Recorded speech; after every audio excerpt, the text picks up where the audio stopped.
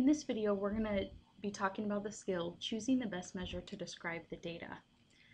In describing the best measure, sorry, in using the best measure to describe the data, we want to find the best measure that represents whatever set of information they've given us. Um, we have three choices on which measures we're going to use. There are things called measures of central tendency.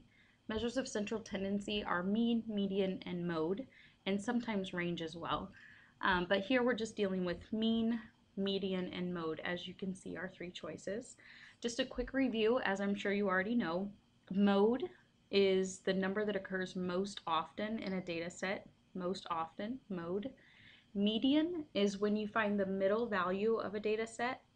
So um, typically students work their way in, smallest, biggest, smallest, biggest, smallest, biggest, until you find that middle value, or you have to find the middle of two values if there is no singular middle value. or mean. Mean is the average. In other words, add them up, divide by the number of numbers. So we have three measures of central tendency, and we're going to choose which of them will best represent the data you're looking at. Okay? For questions that have a data set, like part A here and part B here, we typically will use mean or median to determine which measure is best to represent the data set. If there is no data set, then your answer will be mode, which number, excuse me, or value occurs most often. Okay, and we're going to break that down a little bit more. So part A says the following number of people attended the last nine screenings of a movie. And you see anywhere from 197, 198, all the way up to 295. It says which, which measure should be used to summarize the data. So which value would best summarize the data? Okay, median would be add them up, divide by the number of numbers. And we see anywhere from 197 to 295, which is a decent size range. Um, but when you look at these last and the first values, um, you see this last value 295 kind of jumps in the range.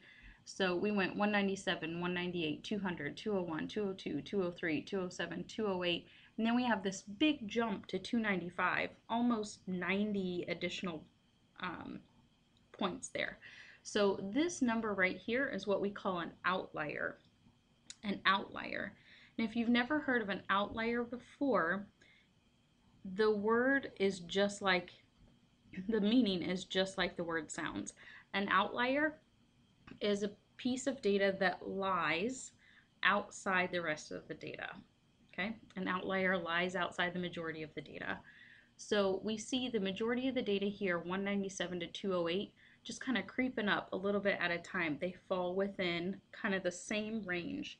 And then the 205, excuse me, the 295 is going to be our outlier. It lies way outside the data.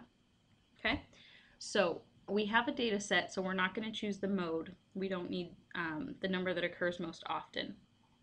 So between mean and median, um, mean, add them up, divide by the number of numbers. If we did that, this 295 is going to make our average or mean higher than this majority of the data because that 295 divided by 9 is going to be much higher than the rest of these. So it's going to make our mean higher than we really want it to be to represent the majority of the data. So here we're going to choose median.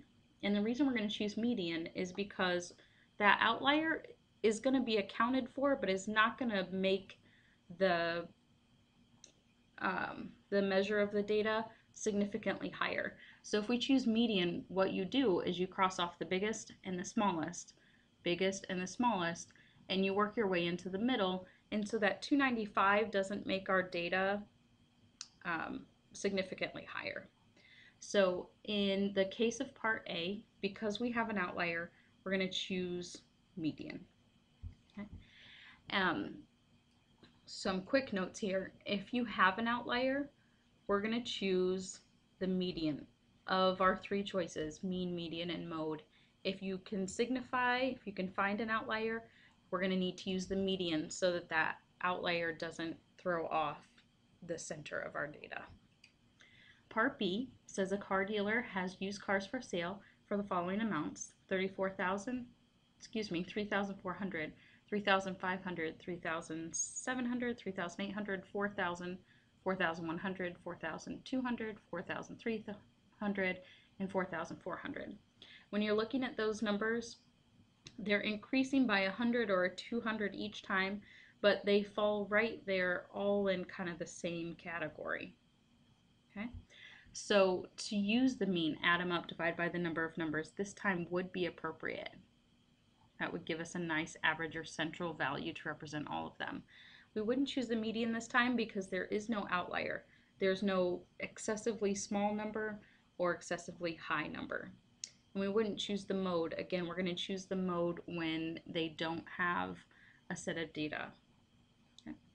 Part C says, in a survey, a soft, soft drink company asked people to name as many brands of soft drinks as they can which measure gives the most frequently mentioned brand. And it, we're looking right there at the word most. Mode is what occurs most often, what number or numbers occur most often. They don't give us numbers specifically, but that's what they're asking us for, what occurs most frequently. So we will choose mode. Okay. So mode when there is no data set, median when there is an outlier or outliers, and mean when the data all lies right there centralized. There's no outlier.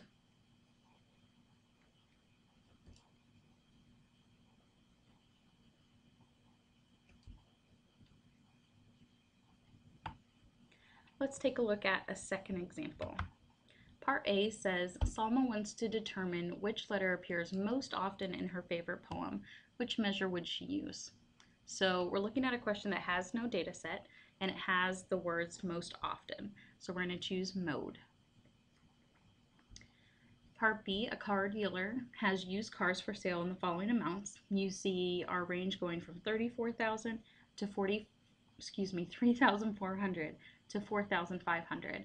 And you don't see any big jumps. You don't see a really small number at the beginning or a really large value at the beginning. They're all kind of right there in the same range. So we're going to use mean. Add them up, divide by the number of numbers. Part C, a bakery sells nine types of sandwiches. Here are their calorie amounts. We have our smallest amount at 284 and our largest amount at 612. So when you're looking at this data set, all of the numbers from 572 to 612 are kind of all in a general category or a general range. The 284 is a big jump. There's a big jump between 284 and 2, excuse me, between 284 and 572. So this 284 is what we referred to before as the outlier. Um, that particular outlier is going to make, if we try to calculate the mean, it's going to make our mean a lot lower than the majority of the data the majority of the data.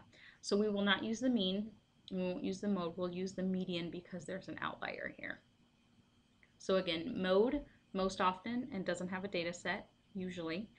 Mean is when they're all in that general range. We'll use mean, add them up, divide by the number of numbers. And if there's an outlier, that's when you use the median. I hope this helps you with your skill. If you have any additional questions, please ask your teacher.